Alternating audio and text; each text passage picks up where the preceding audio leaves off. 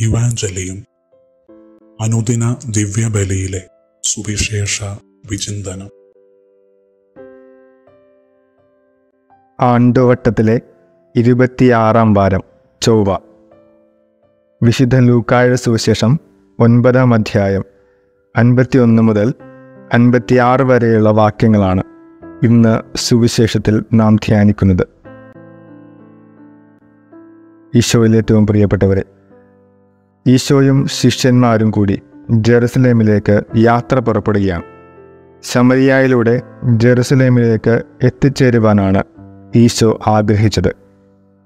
അതിനുവേണ്ട ക്രമീകരണങ്ങൾ ചെയ്യുവാൻ ഈശോ തനിക്ക് മുമ്പേ ഏതാനും ദൂതന്മാരെ അയക്കുകയും ചെയ്യുന്നുണ്ട്.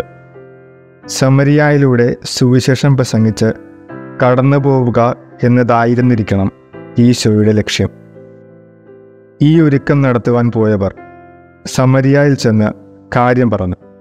പക്ഷേ ഈശോ ജെറുസലേമിലേക്ക് പോവുകയായിരുന്നതുകൊണ്ട് അവർ അവനെ സ്വീകരിച്ചില്ല. ഈശോ യഹൂദനാണ്. വംശശുദ്ധിയുടെയും രക്തശുദ്ധിയുടെയും പേരിൽ യഹൂദരിൽ നിന്നും പുറത്താക്കപ്പെട്ടവരുടെ തലമുറയാണ് സമരിയാക്കാർ. ആരാധനയുടെ പേരിലും അവർ തമ്മിൽ ഭിന്നതയുണ്ടായിരുന്നു. ഇതൊക്കെ കൊണ്ട് തന്നെ യഹൂദരും സമരിയാക്കാരും തമ്മിൽ അത്ര നല്ല ബന്ധമുണ്ടായിരുന്നില്ല യഹൂദർ വിജാതീയരെ പോലെയാണ് സമരിയാക്കാരെ കണ്ടിരുന്നതും പെരുമാറിയിരുന്നതും. അതുകൊണ്ടാണ് വിശുദ്ധ യോഹന്നാന്റെ സുവിശേഷത്തിൽ സമരിയാക്കാരി സ്ത്രീയോട് കുടിക്കുവാൻ ഈശോ വെള്ളം ചോദിക്കുമ്പോൾ നീയൊരു യഹൂദനായിരിക്കെ സമരിയാക്കാരിയായ എന്നോട് കുടിക്കുവാൻ ചോദിക്കുന്നതെന്ത് എന്ന് അവൾ ഈശോയോട് മറുചോദ്യം ചോദിക്കുന്നത്. യഹൂദരും സമരിയാക്കാരും തമ്മിൽ ഇങ്ങനെയൊക്കെ ബന്ധത്തിൽ ഇടർച്ചയുണ്ടായിരുന്നുവെങ്കിലും അത്ഭുതങ്ങൾ പ്രവർത്തിക്കുന്ന യഹൂദ നേതാക്കളോട് ഒരു മയവുമില്ലാതെ മറുപടി പറയുന്ന അനേകം ശിഷ്യരുള്ള വചനപ്രഘോഷകനും നേതാവുമായ ഈശോയെ സ്വീകരിക്കുവാൻ സമരിയാക്കാർ ഒരുക്കവുമായിരുന്നു. എന്നാൽ അതിനവർ തയ്യാറാകാതിരുന്നത്. ഈശോ തങ്ങളുടെ അടുത്ത് സ്ഥിരമായി നിൽക്കാതെ ജെറുസലേമിലേക്ക് യഹൂദരുടെ അടുത്തേക്ക് പോകുന്നുവെന്നത് അംഗീകരിക്കാനാവാത്തതിനാലാണ്. ഈശോ സമരിയായിൽ തന്നെ നിൽക്കും എന്നായിരുന്നു ശിഷ്യർ അറിയിച്ചിരുന്നെങ്കിൽ അവർ ഒരുപക്ഷെ ഈശോയെ സ്വീകരിച്ചേനെ.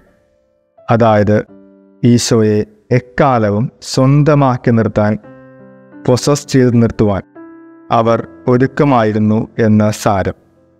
ഇന്നത്തെ സുവിശേഷം നൽകുന്ന ഒന്നാമത്തെ പാഠം നമ്മുടെ ശത്രുക്കളോട് ബന്ധമുള്ള വ്യക്തികൾക്ക് പോലും അവർ ആവശ്യപ്പെടുന്ന പക്ഷം ഒരു ഉപാധിയും കൂടാതെ അവർക്ക് സഹായം ചെയ്തു കൊടുക്കുവാനുള്ള ധൈര്യം നമ്മൾ കാണിക്കണമെന്നുള്ളതാണ്. രണ്ടാമത് നാം ചിന്തിക്കേണ്ടത് നമ്മുടെ അടുത്ത് സഹായം അപേക്ഷിച്ച് വന്നിട്ടുള്ള നാം സഹായം ചെയ്തു കൊടുത്തിട്ടുള്ള എത്ര പേരെ അവരുടെ ലക്ഷ്യത്തിലേക്കുള്ള യാത്ര തടസ്സപ്പെടുത്തിക്കൊണ്ട് ഇപ്പോഴും സ്വന്തമാക്കി വെച്ചിട്ടുണ്ട് പൊസസ് ചെയ്ത് വെച്ചിട്ടുണ്ട് എന്നുള്ളതാണ്. ഒരുപക്ഷെ പൊസസീവ്നെസ് ഒരു അപകടം പിടിച്ച വാക്കാണ്. അപകടം പിടിച്ച പരിപാടിയാണ്. നാം എല്ലാം അവർക്ക് ദൈവം അനുവദിച്ച ഇടത്താവളങ്ങളായിരുന്നു എന്ന് തിരിച്ചറിയണം.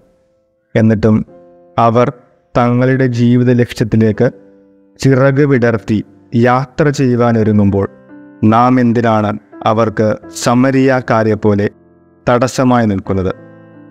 നാം എല്ലാവരും ആരുടെയൊക്കെയോ ജീവിതയാത്രയിലെ ഇടത്താവളങ്ങൾ മാത്രമാണെന്ന് തിരിച്ചറിയണം.